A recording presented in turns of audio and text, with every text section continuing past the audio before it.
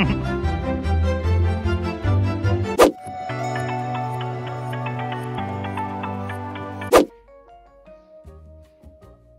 have this box and it is entirely full with gigantic poofy tulle pink fabric. Like I don't even remember how much I purchased because I've had this box in my stash for, I think I remember buying it last year.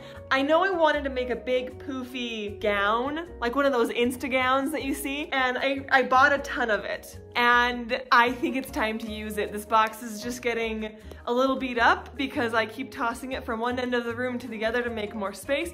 And I'm like, what better way to use it than just use it? So here's what I'm planning. My thought is I'm going to use the same pattern that I used for my little Grinch outfit, like where the top is that fitted bustier style, and then do a full circle skirt and then absolutely cover that circle skirt in yards and yards and yards of tulle. How I'm gonna cover the circle skirt is definitely the part that's up in the air. I have a couple different ideas. I need to know exactly how much tulle I actually have before I really get into that.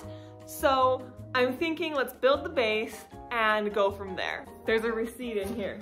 It says I purchased 10 40 yard bolts. I have 400 yards of tulle to put on this dress. When did I buy this?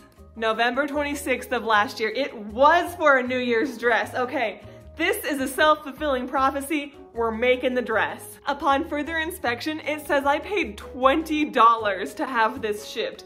That is so unlike me. I will add so much stuff into my cart, and then if the shipping is over $6, I'm like, eh, I don't need it. So the fact that I paid $20 to ship this is insane. Now I have to use the fabric, like I don't have a choice. We have to make something out of it now. I remember buying this pink fabric because I wanted to use it on the skirt, but then I also remember thinking I might not have enough to do the bodice part, and so then I thought, oh, I'll just run out and go grab some other fabric. Well, after about an hour of looking, I even took my extensions out because I was like sweating. Um, I found the fabric that I bought, and it is not the same color. On camera, they're not bad though, so you know what? We're going with it. Anxiety resolved, I'm cured. Because the skirt is a giant circle and it needs to hang on the bias for at least 24 hours before I really work on it, I decided to start with that. I fold all six yards of fabric in half and then cut it at the midway point. I am six feet tall, and it turns out that six yards of fabric is definitely that sweet spot for creating a full floor length circle skirt. I sew both halves together to make one gigantic, more of like a square shape, and then I just kind of measured my body to make sure that this was gonna work. This is the Tupperware lid that I use to make circles with for my waist waist. It's significantly smaller than my waist is, but it gives me a really good round edge and I'd rather cut it a little bit too small than like gigantic. This size allows me to serge around the opening and then it's like pretty much perfect for what I need. So this is my halfway point and I'm gonna put the lid just kind of like there ish and do my best to cut around. Shown here, I'm also doing my best to not cut my carpet up. And then once that circle is cut, I just serge all the way around the opening to make sure that it is secure. Moving on to the bodice. This first fabric is what I'm going to be using for the outside. This yellow stuff is the inside structural material, and then this cotton bed sheet is what I'll be using for the lining. I love recycling material whenever possible. I started by cutting this out without even pinning anything, I just thought I could wing it. I was very wrong. This is my favorite bodice pattern at the moment. I will link it down in the bio below because if you don't own this, if you haven't tried this bodice pattern yet, you totally should give it a try. It is so easy and so simple and there's a really great video that shows you step by step exactly how to do it and it's done by the creator of the pattern so definitely go support them. It's daria patterns. Um, it's like 12 bucks. This is the best 12 bucks i've ever spent. I've made this pattern so many times. It's totally worth it Honestly, the most difficult part about the entire thing is just keeping your booby pattern pieces straight because there are so many of them and when you're doing three layers like this, it can get kind of confusing. So I always make sure to just mark them and make sure they're all pinned together and then I sew them all together all at the same time just like I'm showing here. I want to say this technique is called chain stitching where you just sew everything all together in like one big long line and then you just cut it apart. Um, but that is definitely the best way to go about this pattern when using this many layers. I like to iron everything in sequence, sew everything in sequence. Uh, it really, really helps me keep everything straight and organized, and sometimes it's really easy to get your pieces upside down or backwards, and doing it in this method keeps you from getting confused to the point where you're completely destroying your pattern because you just didn't have it organized. And that totally happens. I've done it a couple of times, and it's devastating. So if you get one thing out of this video, other than I really, really struggled in the last half of it, I hope that you just kind of like grasp this concept of taking it step by step and working it bit by bit and ultimately you're gonna end up with a pretty cool garment if you just follow the instructions. Again, go watch Daria's video, it's amazing. Once I have all of the booby pattern pieces mostly put together and everything is top stitched and looks good, I layer them in a really specific way. I pin them fashion fabric and lining right sides together and then the structural fabric behind that. That way when I flip it inside out, my fashion fabric and my lining are sandwiching that structural layer together. If you go back and watch my Martha May party dress video, you'll see that I sandwiched these layers completely wrong, and so the lining fabric is actually sandwiched in between the structural layer and the fashion fabric, which is okay, but I definitely try to avoid that, especially because it's such an easy mistake to make, and then when you get to the point where you actually realize that's what you've done, it's like, do I unpick everything or do I just keep going? And most of the time, I just keep going. Now that we're done with the booby cups, we're going to move on to the body part of the bodice. What we got here is our basic sewing structure. We got pattern pieces cut out and pinned together, and then I'm seaming everything all together and then ironing all of my layers flat, making sure that my seams are pressed outward, not open. I legit never skip the ironing step of this process because ironing all of your seams and making sure your fabric is flat and nice and looks good totally elevates the look of the end product. And just to reiterate what I was talking about before as far as layering up your fabrics in the correct order, just double check. Always double check, triple check if you have, that your layers are all in the right order. Because then when you flip everything right sides out, your structural fabric is nowhere to be seen. And even though these colors are not the same, I really, really like the way that they go together, and the inside's never gonna be seen anyways. New day, fresh day. It's the morning right now, but it doesn't feel like it because it's so cloudy and snowy outside. It just feels really dark. It should be like way lighter than it is right now, so I've got like all the house lights on. Uh, I have the booby cups. They are both done. That's looking great. And then as far as the bodice is concerned, I am still just top stitching the lining down. And then after this, I'm going to insert the bones, insert the booby cups, um, and then finish this top up. And then I can get over to this guy right here and finish cutting the skirt. My windows are really dirty. They're kind of high up and I can't reach them to clean the outside of it, but it is still snowing. There is so much snow on the ground. I have everything pinned and ready to move on to the next step, which is sewing the boning channels. This is one part of this process that I really, really like. I like sewing those really straight, perfect, perpendicular lines. I love the way it looks. I love the whole process. It just fills me with so much weird joy, only to completely be taken away when I have to actually cut and insert the bone. But I guess before I have to do that, I'm procrastinating by setting the booby cups into the bodice.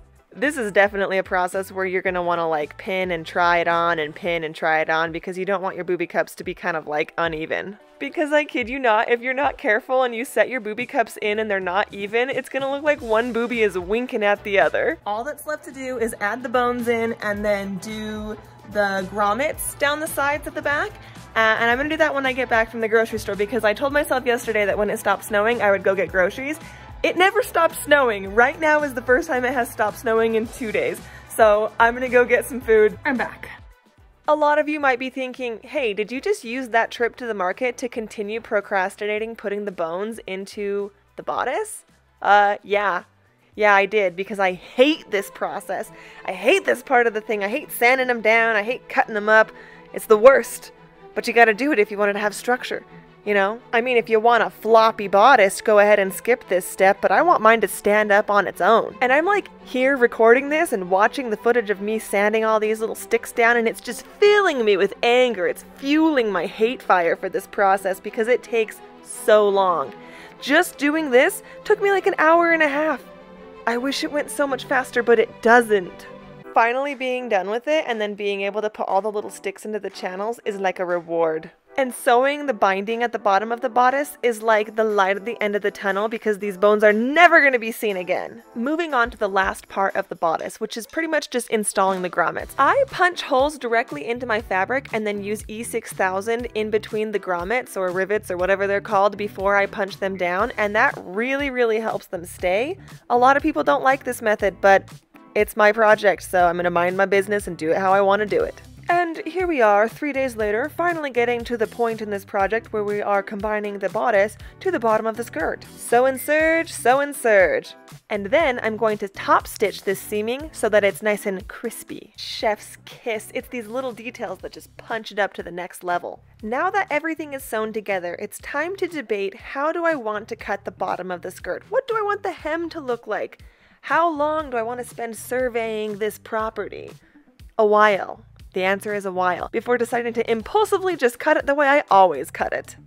And I am definitely a more is more kind of gal. I will always try to cut the bottom of the dress to be just as long and full and elegant as absolutely possible, even if it doesn't really even make sense for the character. This isn't even a difficult part of the outfit. I just need to finish hemming the skirt and then I can start adding the tulle on, but I think I'm afraid to do the tulle. It's intimidating and it's hard to work with and keeping the line straight is tough and it's just gonna be so much, but then I'm like, what if I don't have enough? And there's just so many things that could go wrong. Turns out I just needed to complain a little bit. And now I'm back to like, you know, regular working hours. The plan is to take these two cutoffs from the hem of the skirt, sew them together that way, and then sew this way together onto the skirt to give myself an extra foot or so in length for the back of the skirt. I've done it before. It'll work. Piecing is period. Not that this is like a historical costume by any means, but I'm doing it. But aren't you kind of shooting yourself in the foot by adding more work for you to do? Um, no. Because if I can bring the drama, I'm gonna bring the drama. If it can be bigger, if it can be shinier, it's gonna be bigger, it's gonna be shinier. Within reason and within budget, I will always try to bring the drama. Except for in social situations, because that's exhausting. And you know what else is exhausting? Consistently overestimating my abilities to make one side equal to the other by just eyeballing it. But you know what? I'm going with it. This train is not stopping. And after simply doing my best to hem the skirt, I've decided to add some horsehair braid to the bottom. I just sew it onto the right side of the fabric and then flip it under and sew it down again and it just looks so nice. The day I discovered this stuff was definitely a turning point in my abilities to make things look poofy.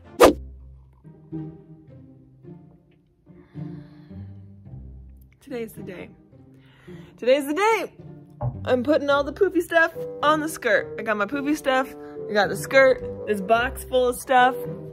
I have my AirPods charged because one thing that I find really helps me when I'm doing a task that I am either like nervous to do or kind of afraid of or intimidated by is I put AirPods in instead of like watching a show while I craft and that way I'm not like distracted watching the show I can just like be here. And definitely putting all of the fluff onto this dress is a task that is kind of daunting and I've kind of been avoiding it for a while. So I'm in my jammies. I have a big glass of water. I get really thirsty. My headphones are charged. It's it's gonna be a long day. Me from the past had no idea what I was in for when I decided to cover this entire floor length circle skirt in tulle. And not just a little bit of tulle, a ton of tiny strips of tulle. Here I am just filming this thinking, oh my gosh, look at this one that I've done. It looks so nice, just this one. One of them. This took me like 30 minutes to do. Here I am, and I'm like, oh, everything's so easy. This technique is working. It's not fighting me. I'm listening to true crime documentaries. Life is good. Life is sweet. This should only take me until the end of the day. Um, no. No, I was wrong. And the signs are starting to show.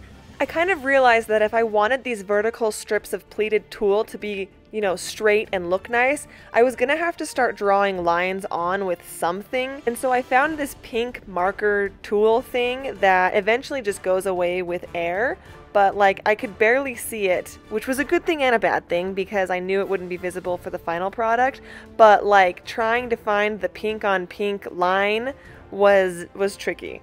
It was tricky. And just like look at this real time example of what I'm doing here just pleating the little like three or four inch sections at a time is exhausting. It takes so much patience. The static electricity in this project is so real. I can feel like the hairs on my arms sticking up and like my pajamas are just like staticking to me. Every time I touch this and sew with it, it is just like more and more static electricity. So that's not something I was expecting. But this is where we're at. So I've got like a couple different, oh, don't look at that. That was my Christmas stuff. Have it in sections. I have like an eighth, like I chopped it in half, half, half, half, and then started filling it in like around in like uh, like kind of like an order like I was doing it in order and I think this is working really well I'm just gonna continue filling in like this middle section and then this middle section I'll go all the way around and then I'll fill in like the middle section in between that and the middle section in between that. And it is a lot of work. I've got a lot of ground to cover. This just this has taken me a couple of hours so it's time to get back to work and by a couple of hours, I mean like eight or nine or maybe 10, I really started to lose track. And I have this philosophy that if I'm gonna sew, I wanna be comfortable, and so that's why we always craft in pajamas in this house. This is the first time that I really, really like needed pajamas because I was so uncomfortable this entire time. Like, I can't imagine doing this in anything other than a pair of loose fitting clothes. I've been doing this for hours. I started at like 8 o'clock in the morning and now it's 4. I've taken a short break just to like eat lunch and do a little bit of laundry. And I've just been doing these all day long and I I think I might be nearing the halfway point.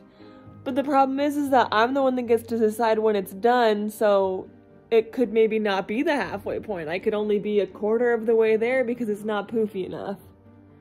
And that's on me. I should do some like exercises because my body kind of hurts from just sitting down. Like I know that's lame, but I've just been sitting and sewing like this for hours and hours and hours. And I'm just like, wow. I need I need a break. I need to do some I need to go I need to go for like a walk. I need to go for a walk. I need to get out but maybe I'm close to finishing, but I'm like, maybe I'm not, I don't know. I definitely had a complete fall apart after filming that short clip. Yeah, and uh, out of respect for my own self, I cut that part out. Like, just look at this dress, it is growing.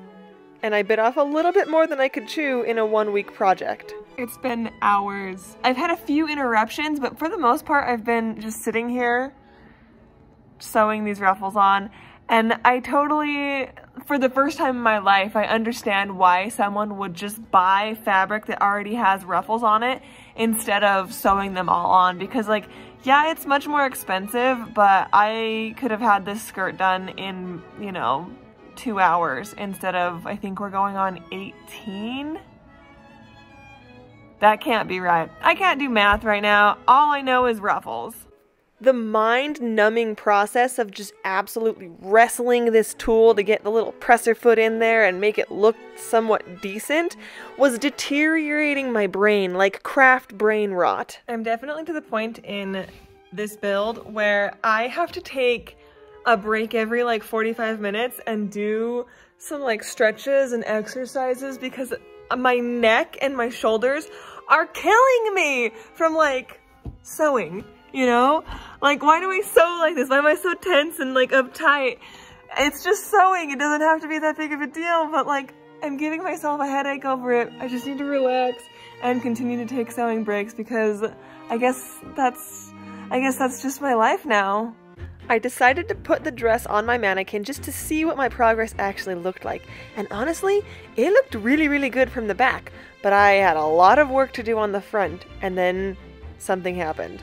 Full disclosure, I have not worked on this for three or four days, and it's because I suffer from chronic pain, which is a thing I forget about until I spend 24 hours over the course of three days sitting in a chair sewing something like this, and then I am like physically ill afterwards. Which is, it's ridiculous, but like, you know, you gotta respect your, your physical boundaries and stuff. So I took a break, and unfortunately, in that break, I planned so many more costumes. And so now this heaping pile of bubblegum tulle is what's keeping me from working on other new stuff. And now I have to overcome this giant loofah mountain to work on those new projects because I'm not gonna let this one get this far and then not finish it. So I am recommitting myself to periodic stretching breaks in between sewing, and I want to finish this like today or tomorrow, like soon.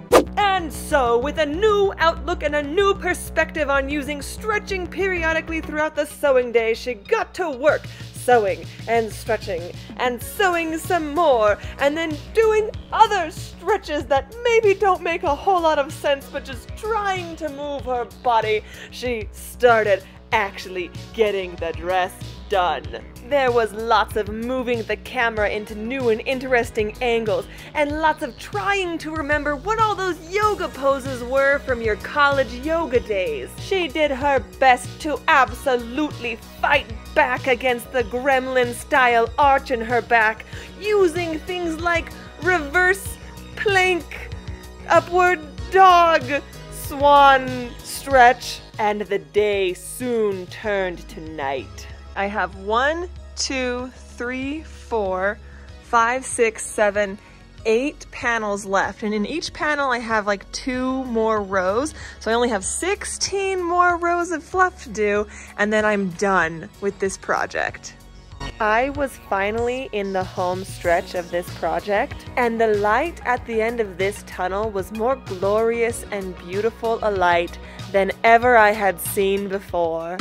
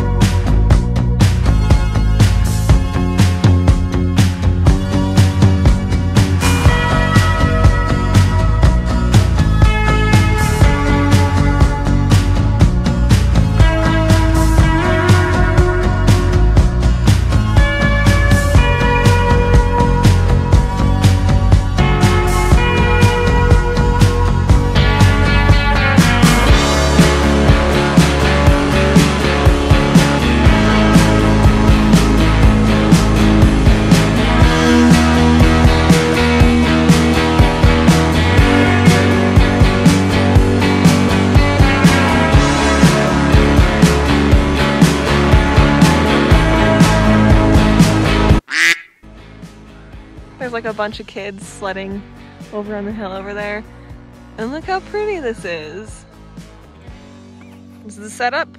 Tripod, dress. There's deer poop everywhere, so we have to be really careful. There's definitely some over there where I've been sent. Wait. Nope, not deer poop. But over there is definitely some. Real professional setup right here, guys. Alright. I'm not really sure if this one was all worth it because I feel like the amount of time it takes to do this effect, um, I might as well just buy fabric that already looks like this because the fabric is expensive and I would have to buy about six yards of it. But I would save myself two weeks of just sitting at my sewing machine working on the same project for very little payoff. Do I like walking around the mountainside looking like a giant pink loofah? Yeah, a lot of people were like, hey, I saw you from a long ways away. And I'm like, yeah, that makes sense. I'm a big pink bubblegum. Overall, I do like it. I'll definitely keep this technique in my arsenal, but I probably won't use it on this large of a scale project for a while. Anyways, thanks for watching. If you enjoyed this content, please feel free to like and subscribe. More videos are on their way soon. And in this house, we craft in pajamas. Gotta pick it all up and do your best.